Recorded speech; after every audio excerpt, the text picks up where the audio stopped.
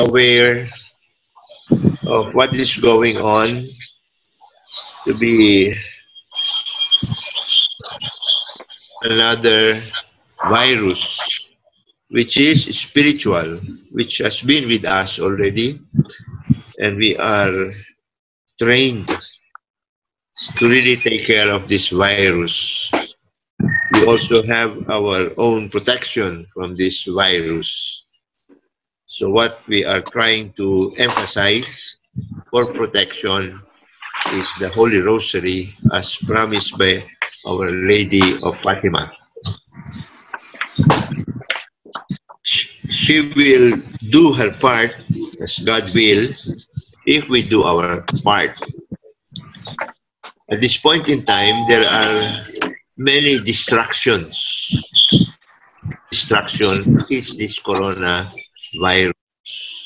Everybody everybody's attention is focused on that.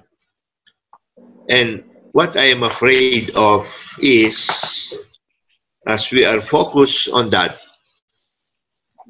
there are those who are planning things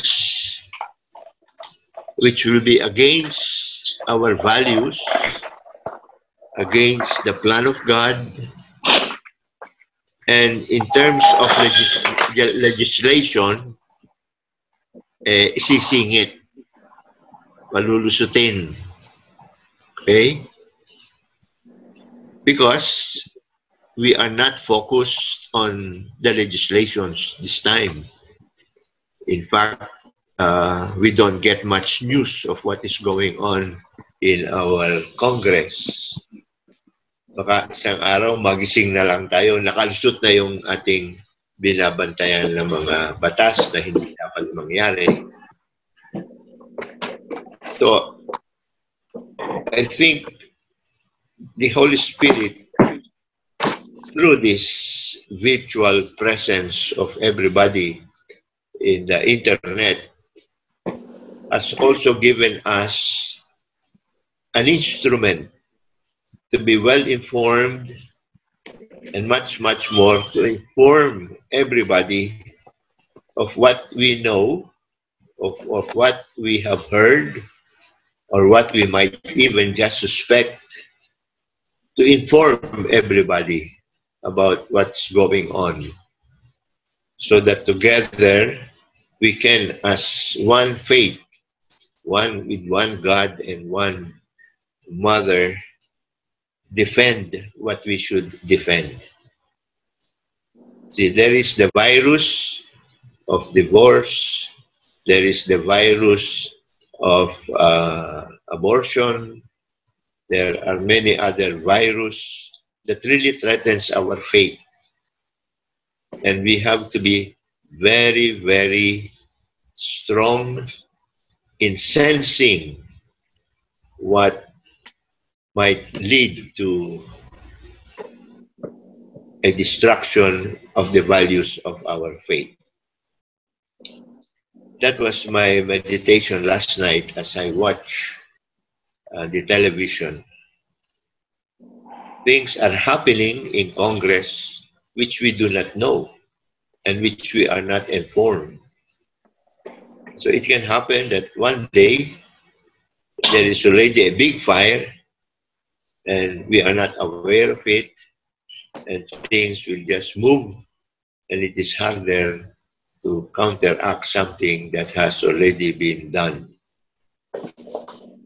Remember, our enemy is not a simple enemy.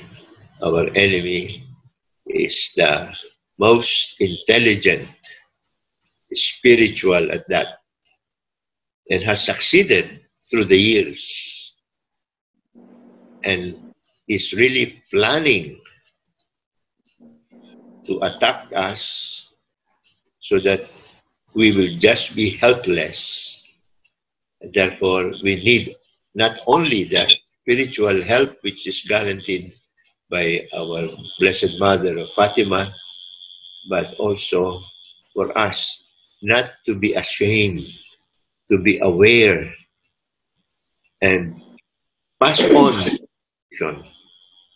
so that we can create a big, big mass. Even now, even without the danger, we can already put fortification, so to speak, as we are doing it with the, with the coronavirus. We wear uh, mask, we keep distances.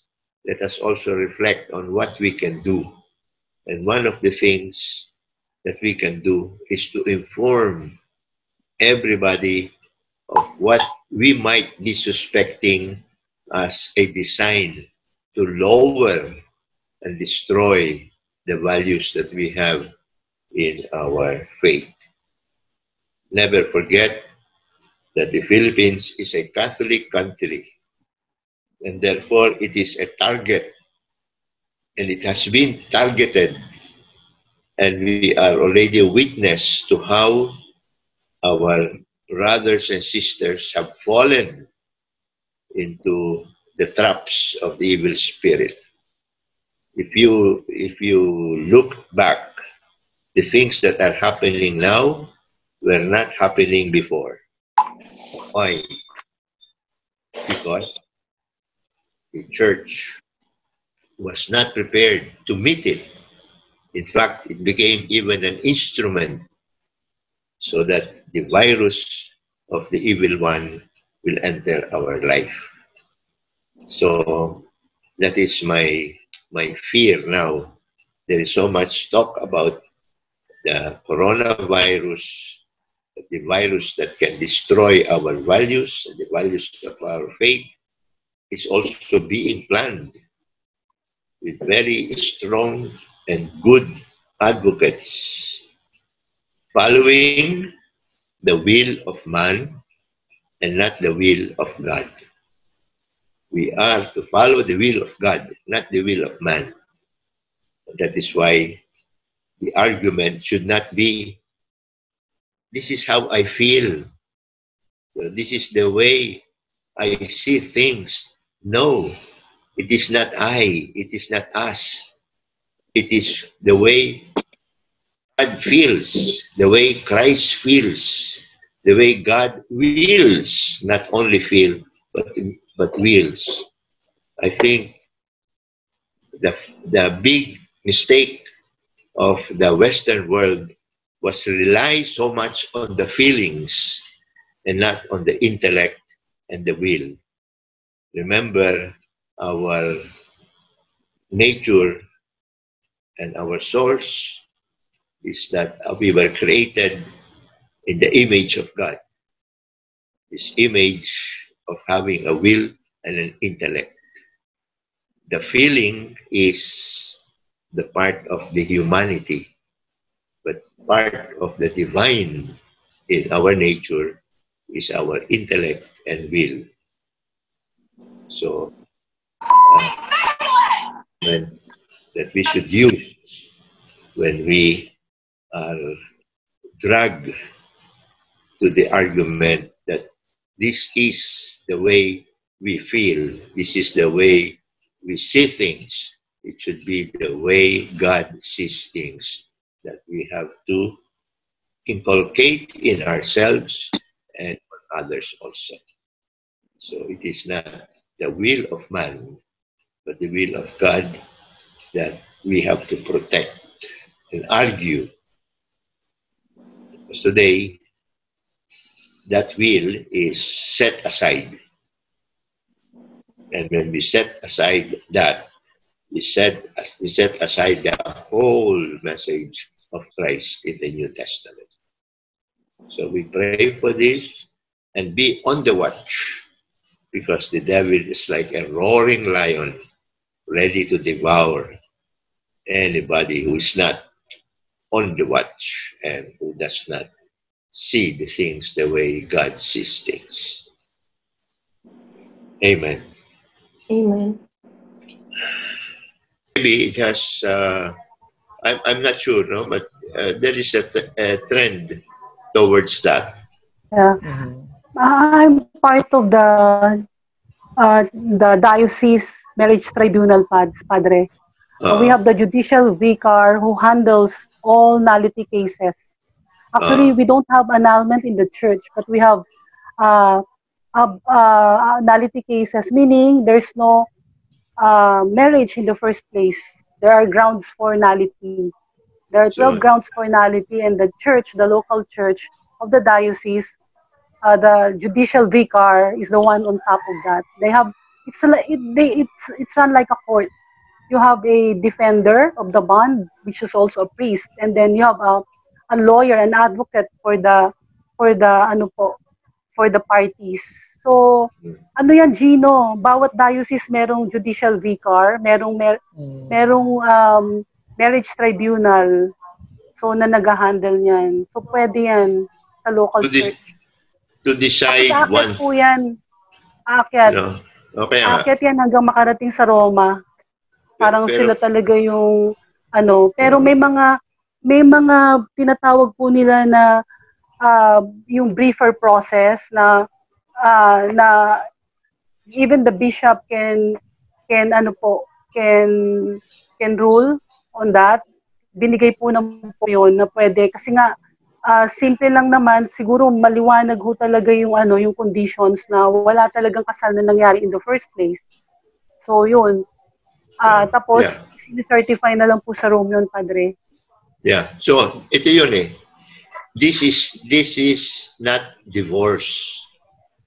This opo is not a divorce this is a declaration that Of there marriage. was no marriage, no marriage that yes happened. Oh, yes. So thi- these are two different things.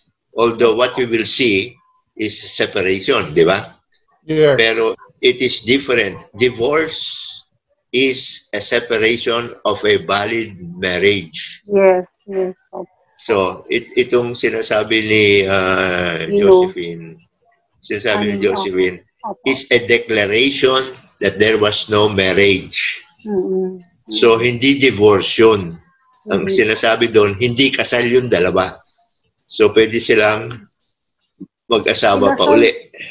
kinasal sila padre pero Pero hindi wala valid. yung essential hindi valid hindi Hindi valid, yung valid. kasal Yeah, may essential because- yung marriage eh opo Because marriage is a contract. yes Oo, So, if the kasal. if the elements of the contract are not present, then there Mhm. is no contract. Ayun Yes, yun. So, dinideclare lang yun.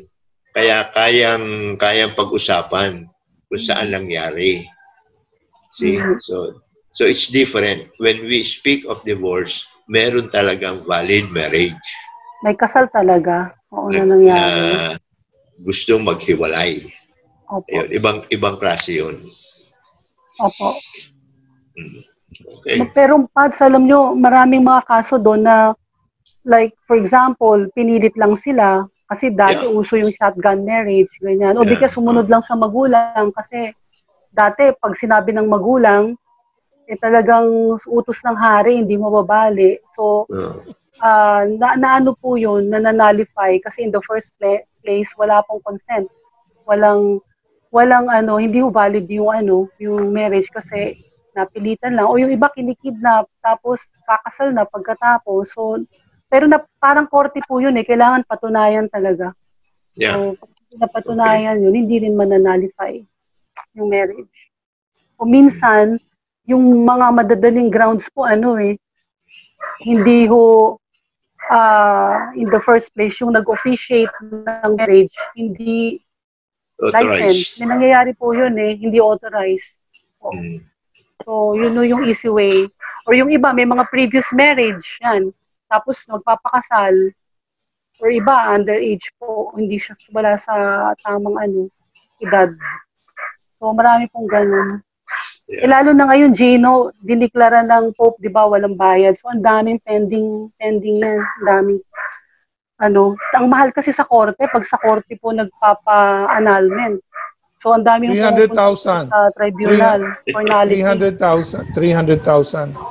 Oo, parang ganun. Eh, sa church, ano, I-research mo very na? minimal. Very minimal. Gino, nag, nag, Gino, bakit alam mo?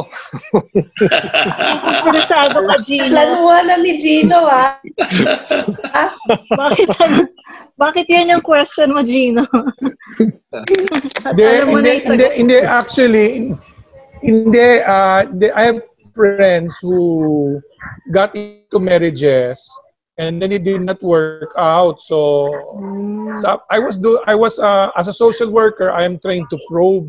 So to go beneath the to go beneath and look at the underlying cause. So, tama si Joe. Uh, kaya lang kasi you have to as father okay, uh, let's let's let's let's let's take it from what father said. God is true, God is pure. So since marriage is a sacrament that uh, holds on the truth of God, holds on the purity of God, as as as what the Bible says, what God has united, let no man, let no man put them under. So you see, uh, the problem kasi today with marriage, although it is a sacrament, most people do not see it as a sacrament. They see it as a, a physical contract lang. O sige, sama tayo, yun lang. Pero pag may konting kahirapan na, pag nag-aaway, pag pikunan na, pag ah, hindi na raw, iba na raw ang paniniwala, sinasabi, let's dissolve the partnership, let's dissolve the contract. See? So in essence, they do not believe in the presence of God. Kasi as Father said, the truth is, marriage is an institution by God. And di ba sinabi ng pare, when, when you were two, you become one with God. You and God are now one. It's neither man nor woman. It's man and woman with God. Di ba, Joe? Alam, alam mo dati, nung bago ko nag-pro bono dyan sa marriage tribunal, actually, ay ayoko mag-facilitate eh, kasi naisip ko, ganyan, ganyan ang pag-iisip ko. Sabi kong ganyan, ang paniwala ko, di kinasal, sakramento yan, tapos hindi kayo pwede paghiwalayin. Pero, ang daming ano eh, ang daming regularities na ikinasal, ang daming ah ang dami ding nagsasuffer. So sabi kong ganyan, pwede naman sigurong ayusin. Kailangan may nag may nag-accompany pa rin sa kanila kasi in the first place, ah hindi rin maganda. They want to go to the Lord. Eh. They want to receive the sacrament. They want to uh, you know, they want to practice their faith. Kaso ang nagiging barrier, yung situation nila ngayon sa marriage nila, yung difficult marriages nila, eh, mismo naman ang Santo Papa nagsasabi na may ano, may um, pwede naman silang lumabas, parang ganun. Kasi nga, may mga conditions eh. Ah, may mga conditions. So, kaya, ayan, tumutulong din ako doon. Ah, pero, Diyos ko, ang sakit sa ulo talaga. Pansa nag, nag, ano, nagpe-face to face ako sa kanila. Ah, grabe, umaano, sumasakit yung ulo ko talaga. So, sabi ko, ang hirap. Kasi nga, nire-relieve yung nangyari in the past. Eh, ito yung, yung mga clients ko, tatandaan eh. Tapos, minsan, dying wish na lang nila yun na ma- manalify yung previous marriage nila kasi itong kinakasama nila ngayon for yun na yung ano talaga eh, yun na yung gusto na lang nila bago sila mamatay, ma-regularize yung union kasi nga ah yun, eh kawawa yung mga ganun, Gino. So kailangan tulungan din. Ah mad- madali eh ma- kasi tayo tayo ang faith natin ganun tayo. Ako personally ganun ako eh. Ah binigay sa akin ni Lord yan, nagtingin ko dyan, kahit may factory defect, hindi ko naman pwede ibalik yan kasi for life yan, ano? So, for better and for worse tayo, di ba? Ganun tayo. Eh, how we wish, ganun lahat. Jo, hindi Jo, ganun lahat eh. Jo, Oo. Jo, ganito. Sabi ng Mm. kaibigan kong, sabi ng kaibigan ko, no, there is such thing as for better or for worse.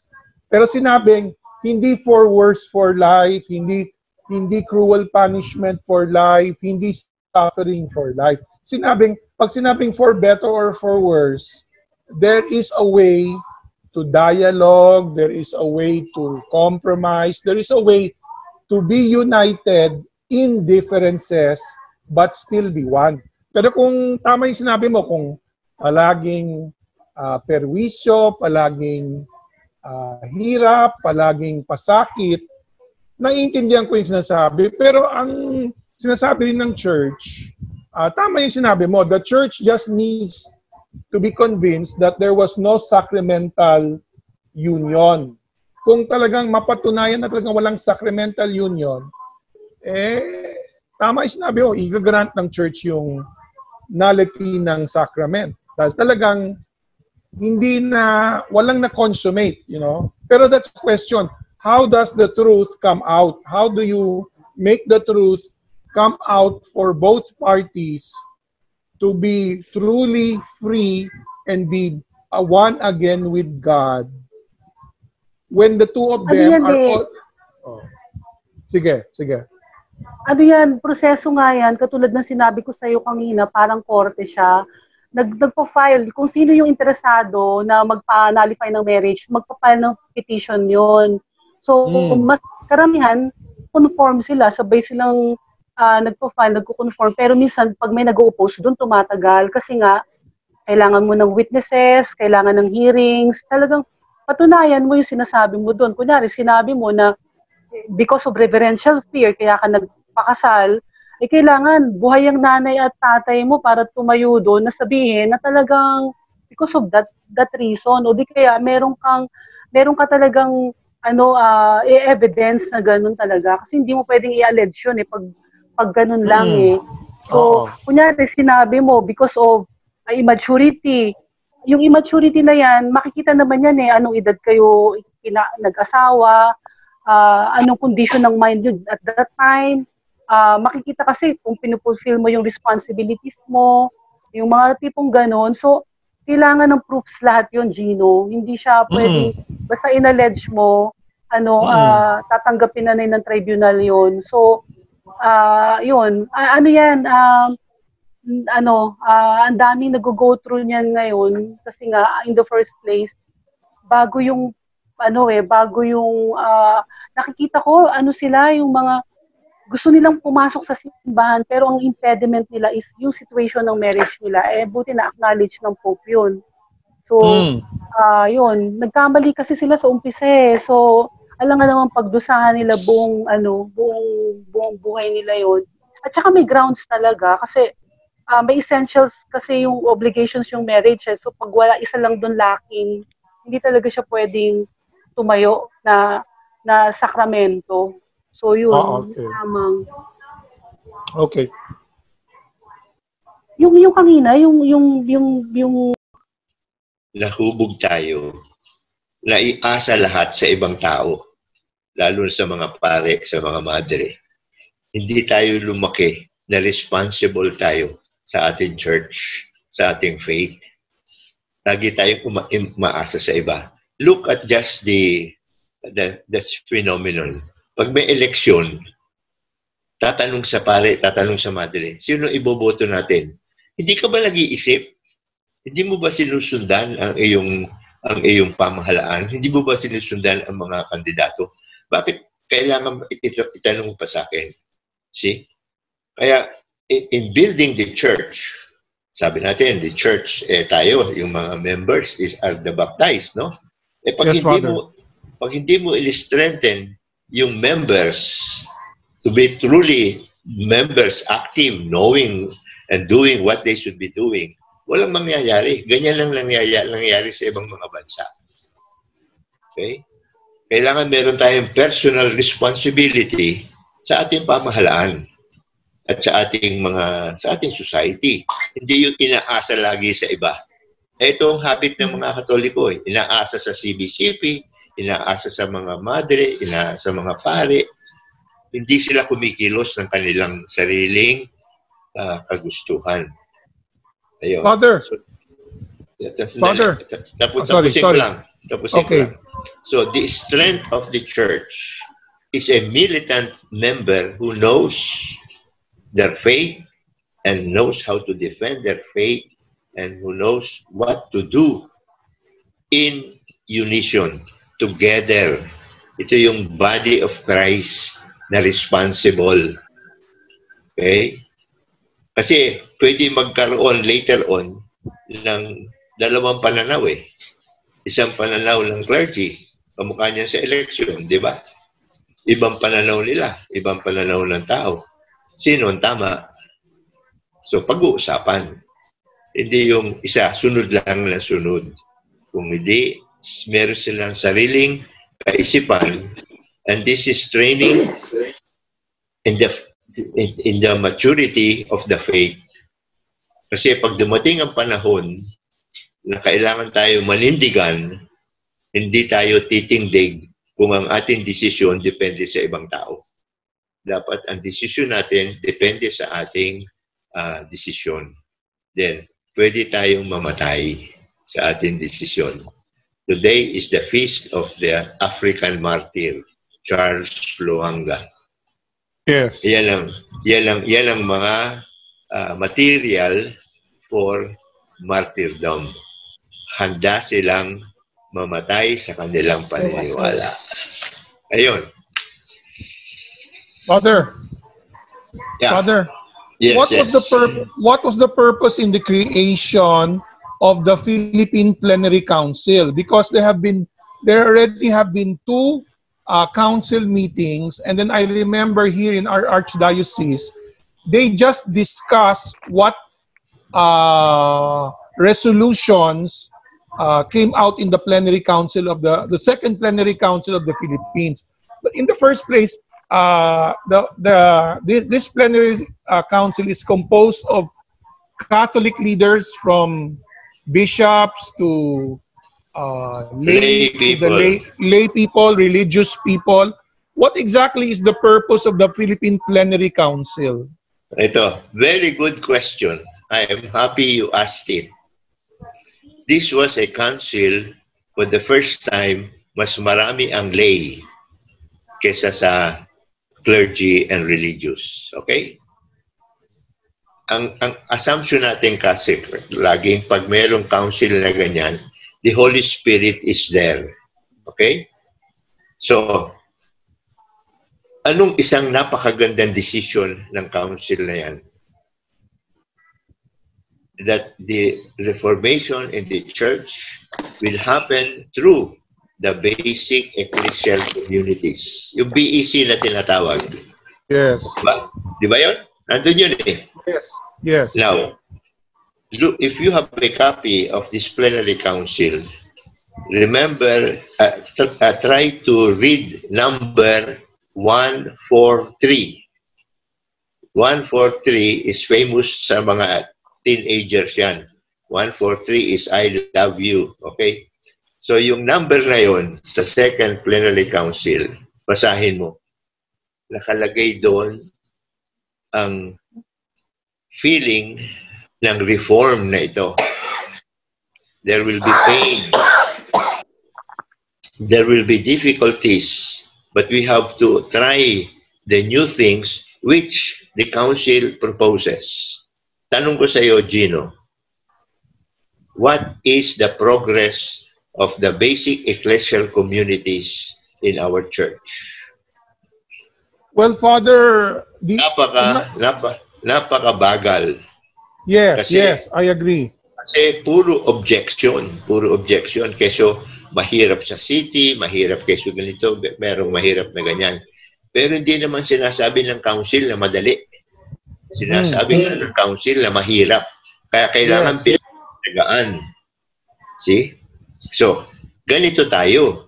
Wala tayong talagang masa na Pilipino, na Catholics, na magkakaisa sa isang bagay na kanilang pinagnilay-nilayan para gawin. Kundi laging nakadepende pa rin sa authorities ng church na sila ang mag-isip para tayo susunod na lang. O mga tao susunod na lang. This is the point that I am trying to to teach our group. Maging aware tayo, mag-aral tayo para the strength of the church which is the lay. Yun, yun ang, yun ang strength ng church. Eh. Lay. We priests and we religious are to, to guide, to teach, to celebrate the sacrament. Pero yung, kata, yung katawan ng simbahan, yun ang tao. That is the mystical body of Christ. Yun dapat na intindihan. Kaya nga, yung sinasabi mong Second Plenary Council, gumawa ng mechanism para sa buong mga paroke, ng mga paroke sa Pilipinas, itatag yung basic ecclesial community, which is a grouping of the families so that they will learn their faith, stand by their faith, and implement the decisions of their faith. Yun ang kulang pa sa atin. Kasi nga, nahubog tayo na to be a Catholic is to go to church. Yun. Yun lang, dun tayo lumaki eh. Kaya nga, di ba, nadidinig nyo ang evangelization ng Pilipinas, eh hindi naman evangelization, kundi sacramentalization. We were invited or taught to go to the sacraments, which is really very important. Pero evangelization is living the values of the gospel. So, sinasabuhay ba natin yung values ng gospel? Yun ang malaking question mark. Kasi nga, ano nangyayari? Uh, Pagkalinggo, other excuse. oh. So, pa- pagkalinggo, Other here in Mindanao, uh, very strong. Very strong ang BEC sa Mindanao. Yun, yun ang magandang Yes. model. Yun ang magandang model. yes. Well, Father, was- you know, the, what's interest, the, Yeah, it- what yeah. is interesting, the church has decided, the church said, we will no longer insist on the neighborhood model. For example, like, I asked my parish priest, can Oh. the group of lay ministers in a parish become a BEC? Sabi niya, pwede. So even Legion of. Mary can become a BEC. Yes. Mali, mali, Yes, yes, mali, yes. mali yan eh. Mali yan. The plan, oo. Mali po yun. Mali, mali Father. yan eh. Ah, ano. Hin- Hindi yan ang hindi yan ang hindi yan ang BEC. BEC eh. Oo. Families B- ng BC. Base, BEC. BEC Bakit? is the is the is the life of the church in the families. Hindi sa organizations. Kasi yung Yes. organizations, may sariling kwan yan eh. May sariling objective yan mga yan eh. It, it, it is not for all. Selective yan eh. Selective yan. Yung BEC is for all the baptized in the parish Yes. to form groups. So, Yeah. ito, yung, ito yung shortcut na ginagawa ng kaparian eh. Because it is very difficult to go house to house, form the uh, the families together, and teach them. Pag pagtsatsagaan yan eh. Yes. That, that is why it is the life of the church.